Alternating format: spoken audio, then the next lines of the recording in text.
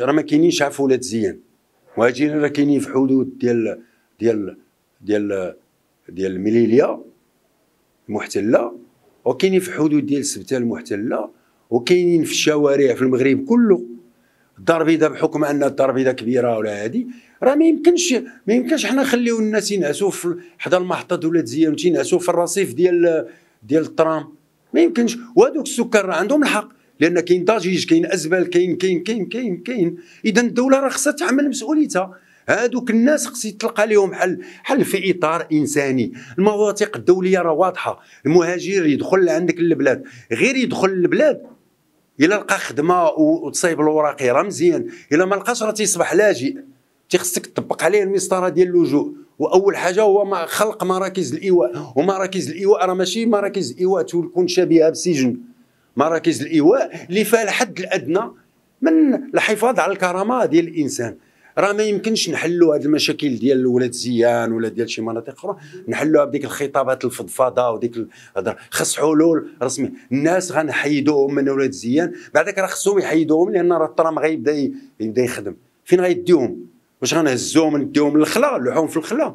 ما يمكنش غير مقبول. وحنا راه دابا دابا مسبقا حنا نديد بهذا الوضع اللي تعيشوه هاد المواطنين لأن الانسان أنا أتكلم على الإنسان ما يبقاوش يقولوا لي إفريقيا آسيا ولا الإنسان يجب أن يحترم أينما كان فين ما كان. خصنا نوفروا ليه؟ لحدود الدنيا. ونعطيك مثال وعلاش حنا ننتقدوا فرنسا وبلجيكا والدول اللي ما تيتعاملوش مزيان وإسبانيا تيتعاملوش مزيان مع مع المهاجرين؟ وفي البادكالي ولا هذه تنوجهوا لهم النقد. إيوا حنا ننتقدوا عباد الله اللي فيهم مهاجرين ديالنا وحنا نمارسوا بحال داك الشيء ولا أكثر من داك الشيء غير مقبول. تطبيق القانون والمواثيق الدولية هذا هو المدخل الرئيسي لهذه الحلول هذه. أكيد المواطنين ليسوا مسؤولين على آه، تدفق الهجرة فوق الأراضي المغربية. فهذا التدفق يتطلب من المغرب أنه آه، يعني يبني آليات يبني آه، أقسام ديال استقبال هاد المهاجرين اللي هما في وضعية صعبة لأن الناس لا في ولاد زيان ولا في أي مكان من الأمكنة هما ليسوا مسؤولين على أن واحد المهاجر ناعس في الزنقه أو كي كيخلق لهم مشكل لأن هذا مشكل ديال الدولة اللي خصها. ماشي توجد لهم منصه رقميه منصه رقميه ماشي هي اللي غتحل المشكل. اللي غيحل المشكل هو يكون دار المهاجر كما دايرين كما داروا مجموعة ديال الدول الديمقراطية اللي كتحترم نفسها. المهاجرين كيتم استقبالهم كيتم تقديم المساعدات الأولية لهم فيما كيخص الأكل ديالهم فيما كيخص الصحة ديالهم.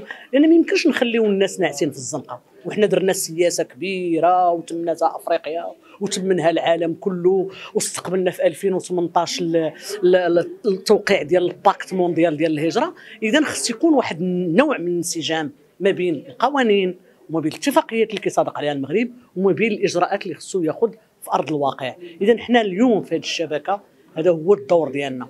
أننا نشتغلوا في ال plaidoyer في المرافعة من أجل يعني احترام حقوق المهاجرين اللي كاينين فوق الأراضي المغربية وكذلك المغاربة المهاجرين في الخارج.